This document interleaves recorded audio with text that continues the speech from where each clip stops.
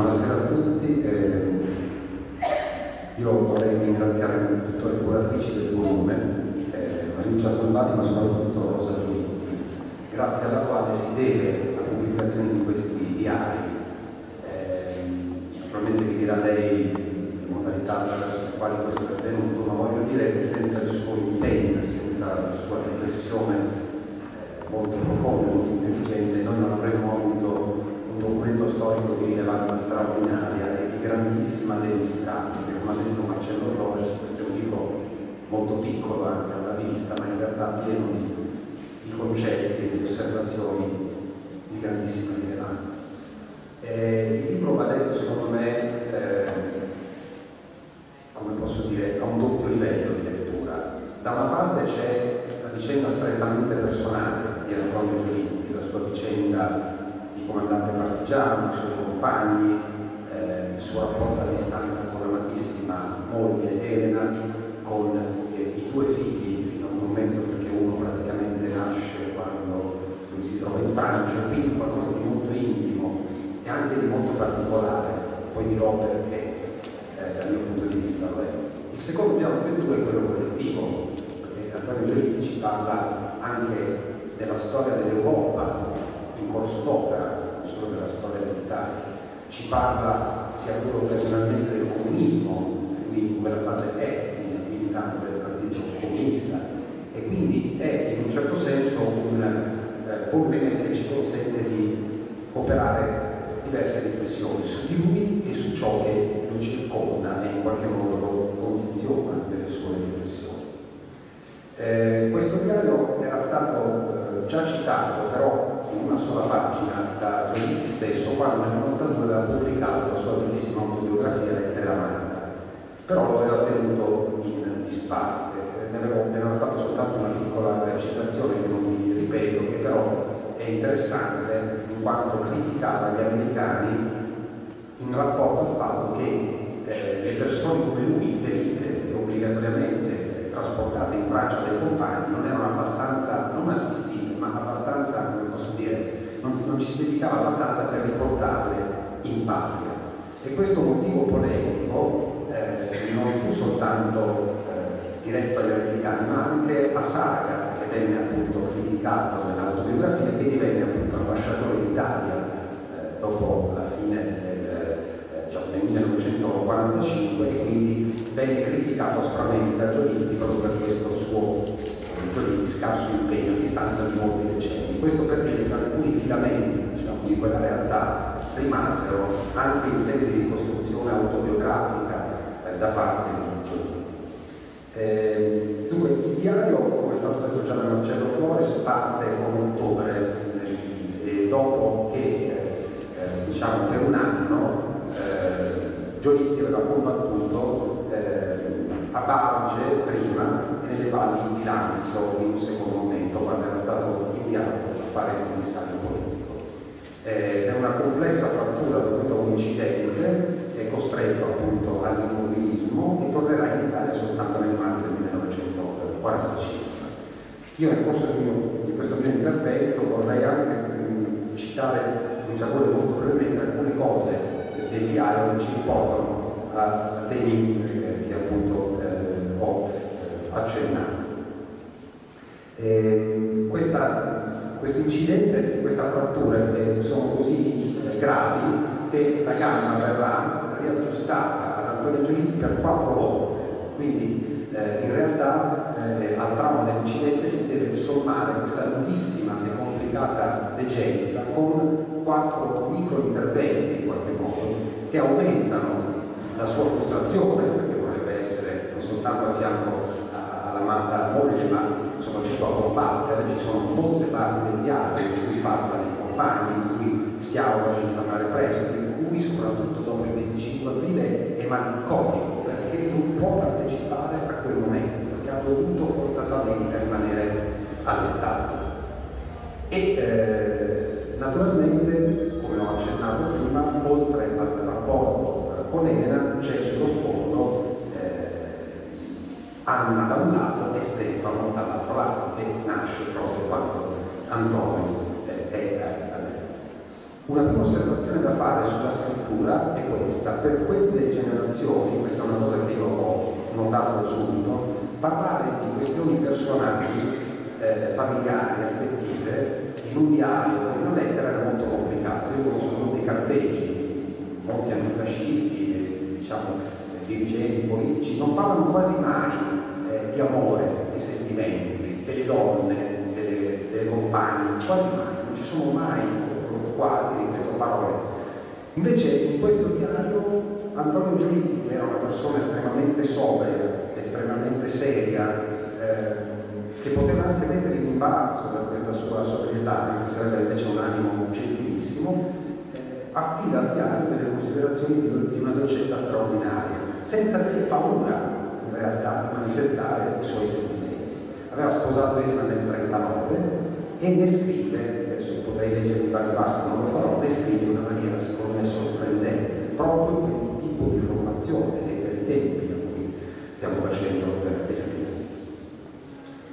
Ehm, un altro aspetto che ho trovato ovviamente in questo diario eh, è eh, la tendenza da parte di Antonio Giolitti a fissare la dimensione collettiva della lotta resistenziale, che è una cosa che appartiene anche ad altri, ma insomma in molte pagine egli ricorda i compagni, quelli morti in battaglia, quelli catturati, torturati, fucilati, ci sono alcune pagine, eh, una in particolare abbastanza impressionante da questo punto di vista. E naturalmente il personaggio più importante che ricorre è Pompeo Polaiani, nome di battaglia Nicola Barbato, eh, ma ci sono tanti altri esponenti eh, di quel mondo eh, comunista sì, ma in qualche modo anche azionista per ragioni diciamo, geografiche, che vengono citati appunto da Antonio Giolitti. Questo per dire che eh, egli non parla soltanto di sé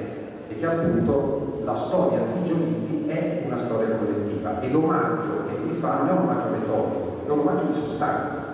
È un omaggio di sostanza eh, che d'altra parte lui sta facendo in corso d'opera, perché siamo appunto ancora tra il 1944 e il 1945. Non si sa come andrà a finire in realtà, anche se diciamo, man mano che si va avanti le speranze diciamo, di vittoria ovviamente aumentano, anche per chi si trova tutto sommato bloccato a letto, si capisce che le cose vanno in una certa direzione. Ehm, altre considerazioni eh, che si possono fare, eh, evitando appunto di dilungarsi, e che riguardano la vita partigiana, eh, secondo me sì, riguardano per esempio i contadini. Si è molto parlato ovviamente dei partigiani, della lotta armata, ma eh, si, è parlato con maggiore fatica del contesto che ha circondato la lotta armata. E in effetti alcune pagine di questo diario sono dedicate proprio a questo, cioè a quelle, a quelle persone sconosciute, magari viste per una, eh, due volte nella vita, che gratuitamente, eh, diciamo, eh, proprio senza pensare e con dei rischi molto importanti, eh, ogni eh, notte, durante gli spostamenti, eh, ospitavano Antonio Giolitti, magari con uno o due compagni, a rischio della vita naturalmente, che potevano appunto solo in quella situazione trovare un giaciglio, qualcosa da mangiare, perché appunto eh, diversamente sarebbe stato impossibile eh, organizzarsi. E, e, questo aspetto ha una, una diciamo, ci porta ad un'altra riflessione. Antonio Giolitti è un borghese, un borghese, come egli stesso a un certo punto dice ironicamente, dell'alta borghesia sua famiglia è una famiglia che in qualche modo è stata importante e eh, capisce che cosa vuol dire vivere a fianco ai contadini e essere inseriti in una volta che annulla completamente ogni differenza di classe e di ceto. Questa è una cosa fortissima che si respira nelle pagine, eh, cioè eh, l'idea che si stia lottando per una causa eh, con una chiarezza di intenti estrema e come questa volta sia appunto trasversale alla società e coinvolga uomini, donne di origini eh, varie. E dentro al diario però non ci sono soltanto considerazioni politiche o militari o umane, ma una grande parte è dedicata alle opere che lui legge durante eh, la perché naturalmente non può che leggere e pensare, ma non da fare. E siccome aveva lavorato alle Inaudi, eh, Giolitti ed era un intellettuale di grande spessore, anche giovane, e trascorre il tempo non soltanto a pensare alla politica e ai suoi cari, ma anche a leggere. E allora legge saggistica, legge eh, di tutto. E quasi eh, organizza delle piccole recensioni di queste edizioni eh, che legge. E, ma si può parlare di Dante, di Tolstoi, di Renan, o di De Gaulle, o di Roland. Insomma, un diario da questo punto di vista che ha un terzo registro se vogliamo, quindi quello della dimensione privata del percorso di Giolitti, politico e militare, quello della dimensione esistenziale e collettiva e quello della cultura, della, della saggistica, che ci fa capire chi è, chi era e chi sarebbe stato Antonio Giolitti dopo. Certo un politico eh, e non eh, più, più politico che un uomo delle inaudi, ma certamente un politico, eh, un politico intellettuale. Non so se esattamente un, un intellettuale prestato alla politica, ma comunque una persona che ha fatto politica in una certa maniera, con una coscienza anche eh, diciamo, culturale certamente importante. Ehm, il comunismo. Eh, Giolitti era un militante comunista, si era avvicinato al comunismo negli anni 30 e per cui era stato molto importante un viaggio che aveva fatto Diaz durante il fronte popolare, ma eh, diciamo, aderirà al, al comunismo soltanto in un secondo momento, anche perché essendo nato nel 1915, nel 1935 aveva 20 anni, naturalmente questo conta. E cosa, cosa, cosa emerge del comunismo da questo diario? Eh, Antonio Giolitti non mi sembra eh, fatto eh, per le rigidità ideologiche, per i dogmi. È vero che ci sono parole chiave di sostegno alla lotta eh, sovietica, al sistema comunista, alla giustizia giacobina, come si diceva, però non c'è, almeno per quel che io ho visto, una chiusura, eh, una rigidità vera tant'è che quando parla di alcuni compagni li descrive come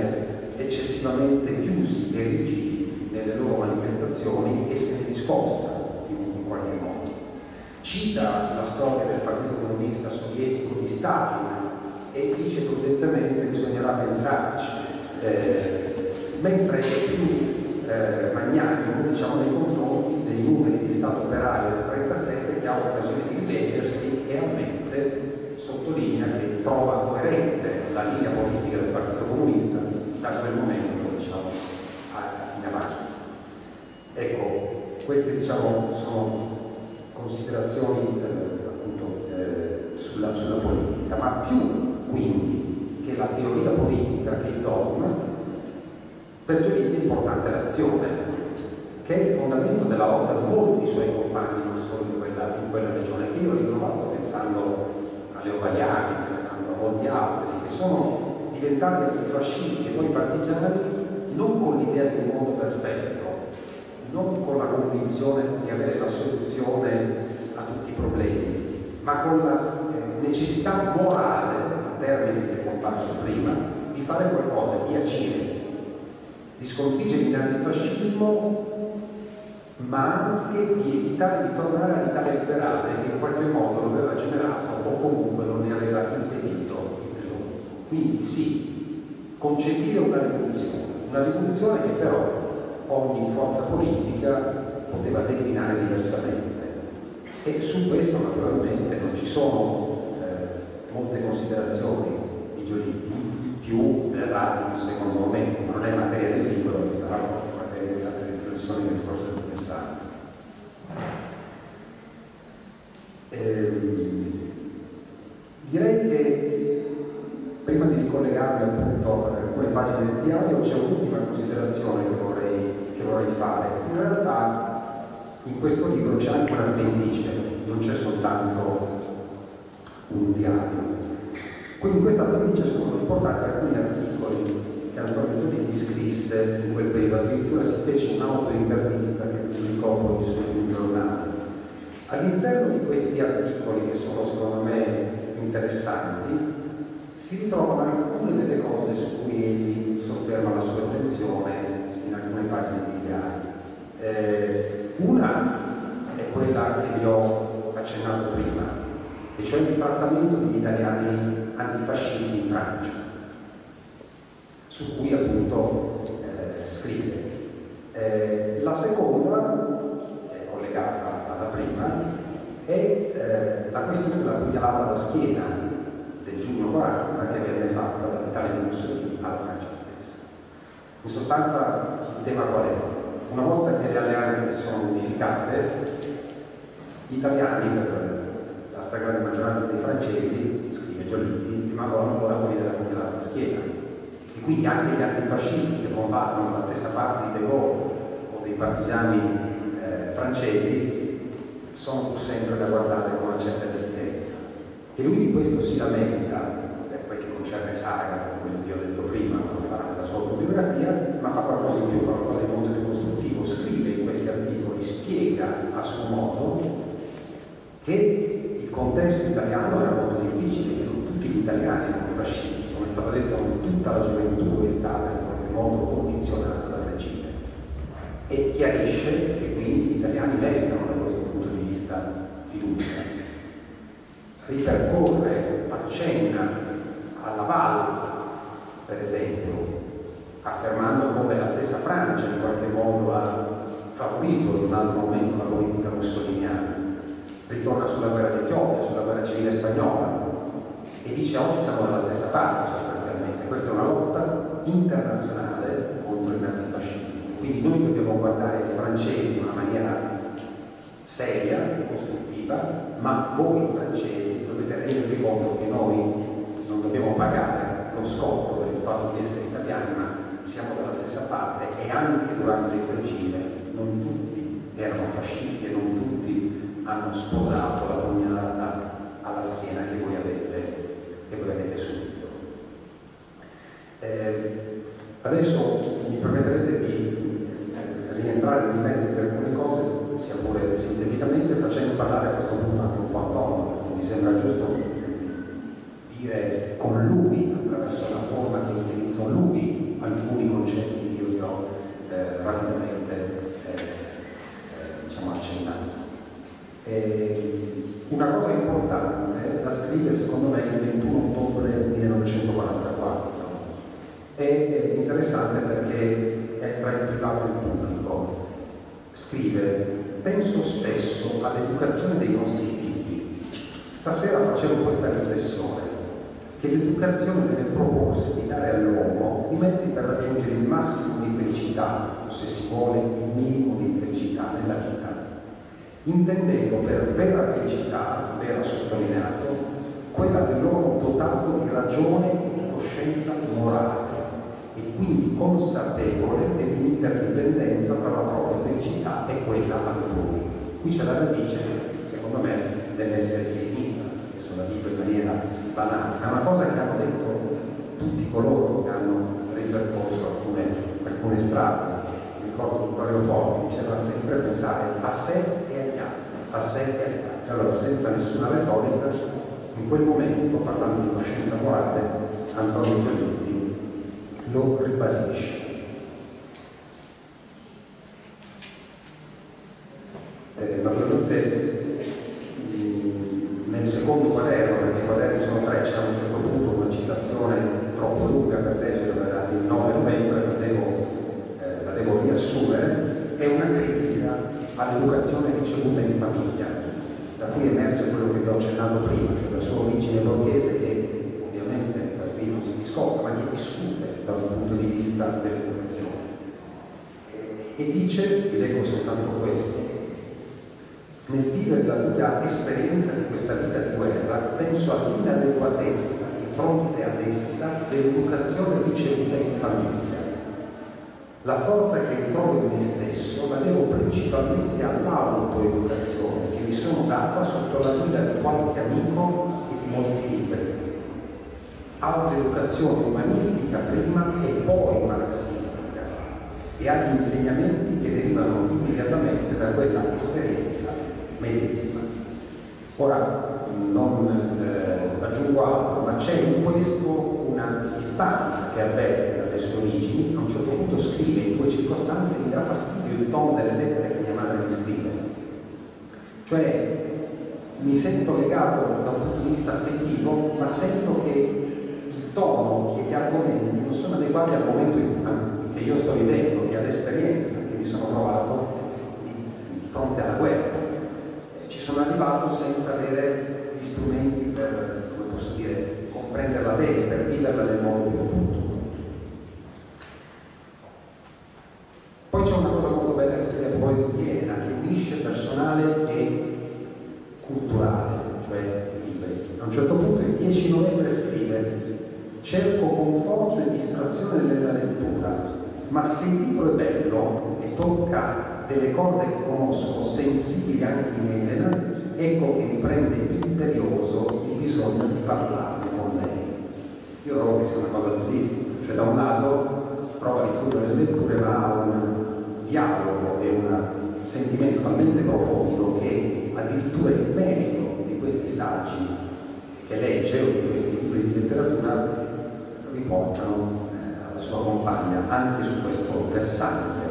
che se volete è meno quello ovviamente dei figli o del loro rapporto più eh, personale. Concludo per ora necessariamente portandovi sull'ultima pagina del diario, eh, cioè il 9 maggio del 1944,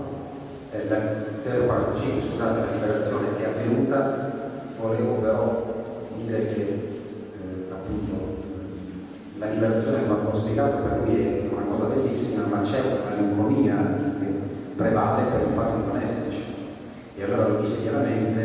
eh, il 27 quando dice ma è una sorte ben triste e amara questa di dover assistere al più entusiasmante, ai più entusiasmanti episodi della nostra liberazione attraverso il buco della serratura, ascoltando la radio con le lacrime agli occhi e il cuore ingiunto ma impotente, inutile e strano. Quindi il dramma diciamo, di una persona che è felice da una parte hanno vinto, ha vinto, ammette di aver contribuito alla lotta in Piemonte per un anno, ad essere contento di questo, ma è molto dispiaciuto, è malinconito e si capisce come la resistenza in questo senso è stato un episodio della storia altamente drammatico, ma pieno di entusiasmi e di vitalità, quindi si mischiano questi due piani. Appunto, il 9 maggio il diario si conclude e eh, Antonio Giolitti eh, riparla di Elena. Oltre un mese è passato dall'ultima lettera di Elena e ogni giorno che passa sempre più guardo a lei come al solo porto sicuro, alla somma di tutto ciò che ha valore nella mia vita. Quindi un amore stupendo che passa attraverso anche interessi comuni eh, e che eh, quindi viene diciamo, formalizzato, come ho detto prima, su piani. La conclusione del diario è molto interessante. Per costruire la pace occorre anzitutto rieducare gli uomini, in gran parte abortiti dalla guerra, alla responsabilità e alla dignità della condizione umana. Non bisogna sottovalutare la portata dello sconvolgimento morale determinato dalla guerra. Quindi la necessità di rivoluzione sociale e politica sì, ma un'attenzione per l'aspetto morale, cioè per il rapporto in buona sostanza tra etica e politica. In questi anni ci hanno voluto far credere alcuni che prestare attenzione all'etica significa essere moralisti. Basterebbe guardare un dizionario per capire che non è vero.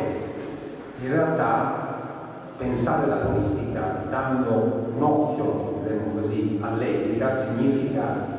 fare, provare a fare veramente gli interessi dei più e non soltanto i propri. Tensione etica in Antonio Gelini è stata molto viva,